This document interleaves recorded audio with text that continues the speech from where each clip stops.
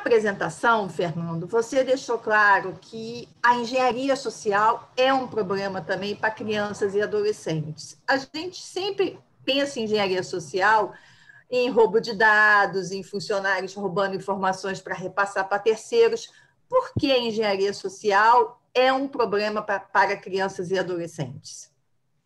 Olha, a segurança das, das contas dele, na verdade, quando se cria um jogo, né, quando as crianças e adolescentes entram nos jogos, isso já não, não num passado remoto não era assim. Não, não era necessário ter uma conta no jogo. E o que é uma conta? Né? É um conjunto de informações que identifica a criança ou adolescente, identifica o jogador. E, em alguns casos, identifica mesmo, com endereço, com é, CPF, se tiver, dependendo do caso, tem um nível de identificação razoável, né? Os jogos hoje, hoje, a maioria, exigem essa conta. Essa conta precisa ser criada, é, até por questões de segurança, inclusive da própria plataforma, porque se alguém ofender alguém, se alguém é, infringir alguma regra, a plataforma tem que saber quem é. E as compras, o, compra de item no jogo, compra de upgrade no jogo, certas compras são associadas a essa conta. Então, muitas vezes tem um cartão de crédito ali associado a essa conta, né, que as empresas fazem o seu melhor para manter esse armazenamento encriptado e tudo. Mas, mesmo assim, é, informações pessoais e financeiras podem e comumente estão associadas a essa conta. Além disso, tem todo o histórico de jogo da criança, do, do, do adolescente, de quem estiver jogando, né? Tem todo o histórico do jogo. Então, se dentro do jogo ele conquistou níveis, ele atingiu é, certos, certos, é, certos prêmios, comprou certos itens, tudo isso está associado àquela conta. O que, que acontece? Essa conta ela se torna valiosa no universo dos gamers e também por uma questão de privacidade. É uma conta valiosa. Protegê-la é essencial. Ah, os ataques de engenharia social são os ataques que usam do, da, da tendência de de confiar, né, que o jogador ou qualquer ser humano tem, de confiar numa informação que está sendo passada para ele. Então, assim, clique aqui porque você precisa atualizar sua senha, do contrário, sua conta será bloqueada.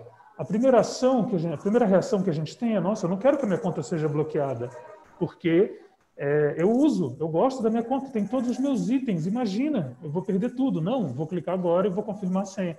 Só que aquele e-mail, por exemplo, era falso foi enviado com alguém que copiou o logo, o nome da empresa detentora da conta, tudo. Então, o, essas ameaças que é a mesma história para fraudes bancárias, para coisas do mundo, digamos assim, é, de não jogadores, né? O mundo é, do, do, mercado aí no geral, é, ela existe também no contexto de crianças, adolescentes e, na verdade, de todo mundo que joga, independente da, da idade, né? É, a conta tem os valores. Existem, inclusive, mercados negros aí onde se vende contas hackeadas. Ou seja, os atacantes vão, hackeiam contas importantes que têm uma, um nível de significância alto, então tem muitos itens, tem muito valor dentro do jogo, e depois vendem nos fóruns mais obscuros, assim, ó, 500 reais essa conta aqui. Se você me der 500 reais, eu te dou o nome do usuário e a senha que eu, que eu acabei de roubar, sabe? Mas, Fernando, como conscientizar, então, crianças e adolescentes desse risco? Porque o senso, né, a, a ideia deles de risco é diferente da nossa. Sim, sim, sem dúvida. Exatamente um, um ponto onde a gente precisa ter é, zero certeza de que a gente sabe. Mesmo que a gente saiba o que a gente quer passar, por exemplo, eu quero dizer que uma conta é importante. É o que você falou. O, um adolescente, talvez ele nem se ligue o que é uma conta. Ele nem sabe. Porque ele simplesmente tem que botar o nome do usuário para jogar? Tem. Qual é a senha? Ah, a senha que você escolher. Ah, então ele escolhe uma senha e joga. O interesse dele está no jogo. Não está interessado em nenhuma outra coisa. Aquilo para ele era só um obstáculo. E ele já passou. Então, eu acho que é importante ouvir ao invés de falar. Ou seja, chegar para ele e perguntar assim, o que, que é uma conta de usuário? Por que, que você tem uma conta na Steam, na Riot Games? Na... Por que, que você tem contas diferentes? O que, que acontece? Você põe o nome do usuário, o que é ali? Uma senha? Que senha é essa? Você que inventou? Ouvir dele. Para ele contar, o adolescente, o adolescente contar o que, que tem na cabeça dele sobre ter aquela conta. Né? E aí sim você vai encontrar maneiras de, de inserir alguma informação ali. Fala assim, ah, não, isso aqui não tem nada a ver, é uma conta qualquer, que a gente bota qualquer coisa aqui. Fala, não é qualquer coisa, né? Porque se você errar a senha aí, não entra. E se alguém colocar essa senha? Essa senha é o quê? O seu nome? É o sua data de aniversário? É muito simples? Ou é o, o, personagem que você gosta de um anime, de um jogo e tal? Se alguém usar isso daí e acessar essa conta, o que, que acontece? Ah, pô, essa pessoa vai jogar com, com o meu jogador, isso não é legal. Pois é, não é legal. Então, daí, é importante a gente botar uma senha. Pensa aí numa senha que ninguém conseguiria pensar.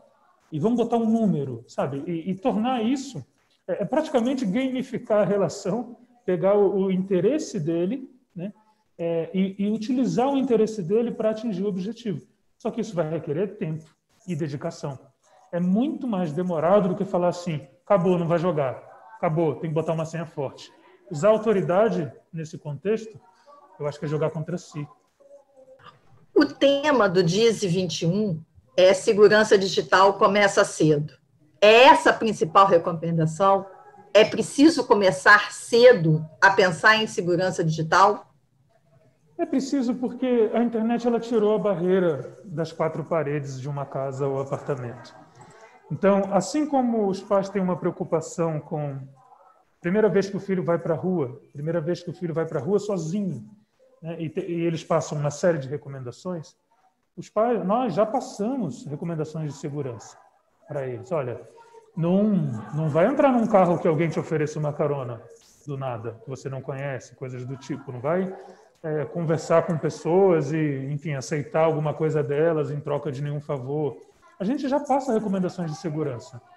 É, só que hoje, né, a, internet ela não é mais um, um, uma ferramenta que está disponível. Ela, ela, está acontecendo, talvez tanto quanto o ar que a gente respira. Eu acho que você não encontra uma, um lugar que, que tenha somente oxigênio e não tenha ondas, dados passando. Né? Ela está o tempo inteiro, é 24 por 7.